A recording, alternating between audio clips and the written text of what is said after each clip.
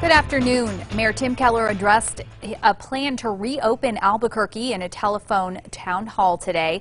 He says it will have to happen in phases, but the city is waiting for a number of factors first before it can begin.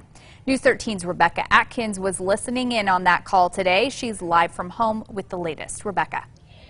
Well, Mayor Tim Keller says there is a list of criteria both city officials and state officials are looking at to determine when is the best time to reopen. They say the first factor is the virus itself.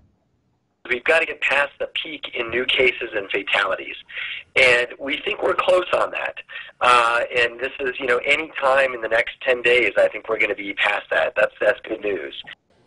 The mayor went on to say they're also looking at the medical side of things, like are there enough beds and medical personnel and ventilators, which he said is looking good. He also says they start they start to allow businesses to reopen. For instance, retail. They may allow standalone shops to open rather than a place like the Coronado Mall, where there are a lot of people who can gather in one place. He says they want to open slowly so they can monitor if there is a jump in cases.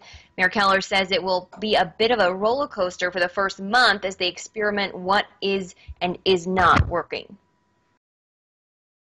We're looking at various regulations around face coverings, uh, also perhaps screening coming into businesses, uh, especially for like call centers and things of this nature.